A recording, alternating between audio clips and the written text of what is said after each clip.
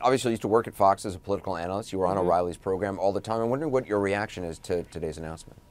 Well, I mean, I think that it's it's stunning because Bill O'Reilly was Fox News. He had so much power there, and it was sort of unthinkable that he would ever leave there except on his own terms. And I did his show regularly um, for a long time, and uh, you know, I, I was thinking about an, an incident that had happened early on in my career there, where I was on air actually with Margaret Hoover, who's at CNN now, uh, on a regular segment. We were on every Monday, and he got Margaret's name wrong, and Margaret said, "Hey, get my name right," and he said oh, I'm sorry, there's a lot of blondes in this operation. I can't keep you all straight. Megyn Kelly's coming up, starts throwing all these blonde names. Um, and then at the end of the segment says, thank you for your blondness to both of us.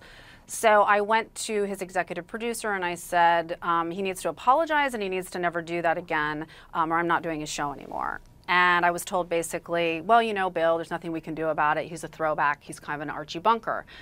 And I said, well, if you mean he's a Neanderthal, then we're on the same page. He can never do that again. I'm a political analyst here.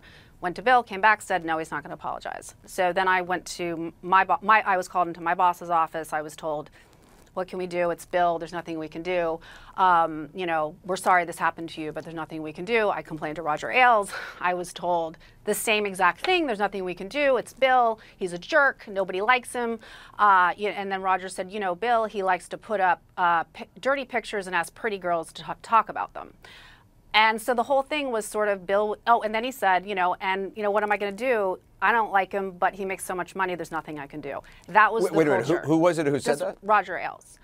Um, and so this was the culture, which was Bill was, you know, just too big, and so that there was nothing you could do about it. So I did quit his show, and I didn't do it for two or three years. This was an election year. This is the biggest show at Fox, and um, and then about three years later, I went back and I said, look, I'm willing to give this another try.